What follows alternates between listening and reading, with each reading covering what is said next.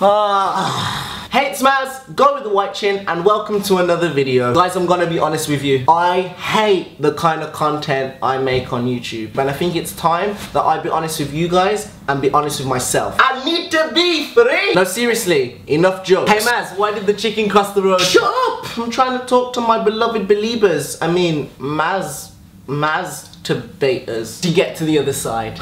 this is why you're a virgin. Guys, I've decided to change the content on this channel completely. And from this day, this channel is now going to be a beauty channel. Go beauty channel montage. Mm, oh, Maz's beauty, oh, beauty from Maz, Maz's beauty, Maz's beauty.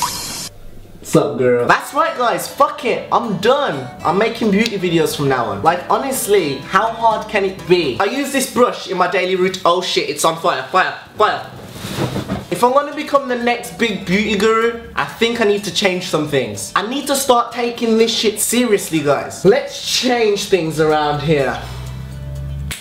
The bedroom. I'm gonna be in here from now on and I'm not gonna be telling you all my deepest, darkest secrets to do with beauty. Like, how I do my hair. how I do my eyebrows. How I shave my armpits. I can also do really cool reviews about beauty products that you guys want to know about. Like this razor. Shit. Okay, maybe the bedroom isn't for me. Damn right it's not. Hey, are you insulting my sex game? Yes. But that's none of my business. So yeah guys, subscribe to see more beauty videos and I will see you next week. I'll be telling you how I keep my chin so white and I'll be reviewing this toothbrush which is on fire. Why is it on fire? Fire? Not again. Wow, Maz fell off. But yeah guys, I'm fucking kidding, I'm not doing beauty guru videos really, I'm just fucking around. I'm gonna leave all that shit to the incredibly beautiful beauty gurus that they are on YouTube. I'm subscribed to all of them.